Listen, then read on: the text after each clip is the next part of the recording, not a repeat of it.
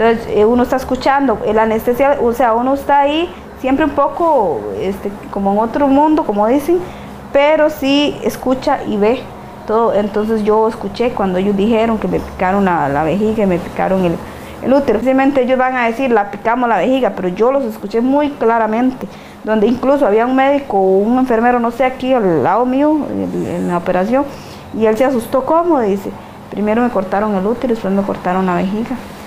Desconozco qué escuchó, se lo está diciendo el que la operó. Hay testigos, porque esa operaciones yo no entro solo. Lo que le estoy diciendo está datado, eh, está escrito, y hay gente eh, conmigo, porque yo no opero solo, obviamente, alguien me ayuda, hay un, eh, alguien que me asiste a la cirugía, hay un anestesista, que es otro médico, todo se vio.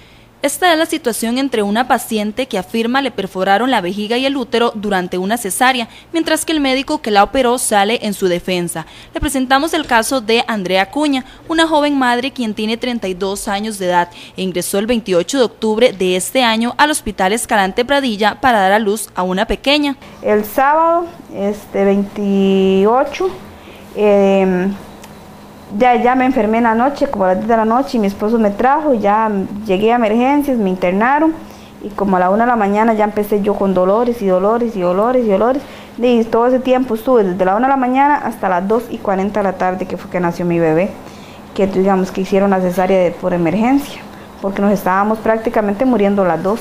Tras la operación le colocaron una sonda que ya le retiraron. Además precisó que no recibió ningún tratamiento en el hospital. A mí me mandaron para la casa, nada más váyase y tan siquiera le, me dijeron los hilos se quitan tal, tales días, porque si yo era sido primeriza, nadie me ayuda, uno no sabe, pero igual ya uno sabía, entonces no me dijeron nada, yo fui el, día que me correspondía le vais a quitarme los hilos, no se pudieron quitar porque la, la herida presentó problemas, entonces este, me mandó antibióticos, ella me mandó antibióticos y una crema para que me pasara.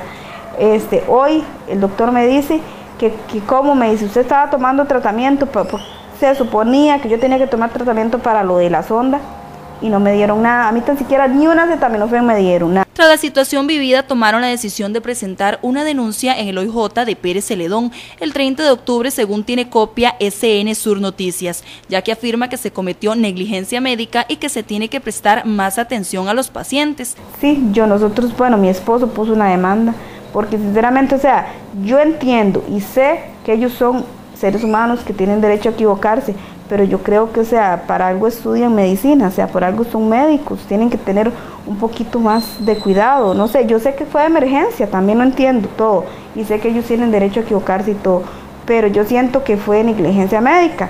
Esta es la segunda cesárea que le realizan a Andrea, pues tiene un pequeño de 5 años de edad, quien también nació por este procedimiento. Con respecto a esta denuncia, el doctor Diego Montero, coordinador del área de maternidad del Hospital Escalante Pradilla, explicó que fue él quien atendió a Andrea en el parto.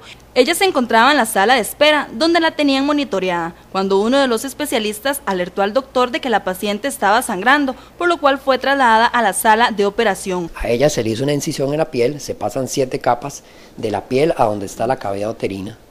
Y lo que encuentro es que el bebé está fuera del útero, está en la cavidad abdominal, la vejiga está rota en forma espontánea y el útero está roto en forma espontánea. Eso se llama una ruptura uterina. El bebé se atiende, la placenta está desprendida en un 30%, entonces saco el bebé, se le entrega al pediatra, se le dan los cuidados y a ella nada más se le reparó la vejiga, se le reparó el útero.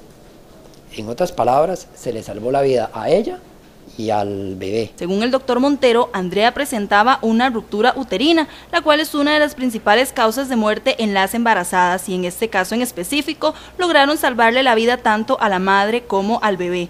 La paciente se deja con una sonda, es decir, con algo para que la vejiga no se distienda y la cicatrización de la vejiga sea adecuada, ¿ok? Se le da tratamiento profiláctico y a esa paciente se le explicó por dos ginecólogos, incluso uno que tiene más de 30 años de trabajar aquí, le explicó toda la situación y todo, muy bien. Esa paciente yo la vi hace tres días, le quitamos la sonda, ella orinó bien y está resuelto. El médico reconoció que Andrea tenía un factor de riesgo conocido como síndrome adherencial severo, que en algunas ocasiones se presenta por cirugías anteriores, enfermedades pélvicas o por otras causas. lo que se le, a ella se le reparó, nadie le rompió nada. A ella eh, se le salvó la vida porque con una ruptura uterina y con un desprendimiento de placenta y con un sangrado se muere uno. Al existir una denuncia en los tribunales de justicia quisimos conocer la posición de las autoridades.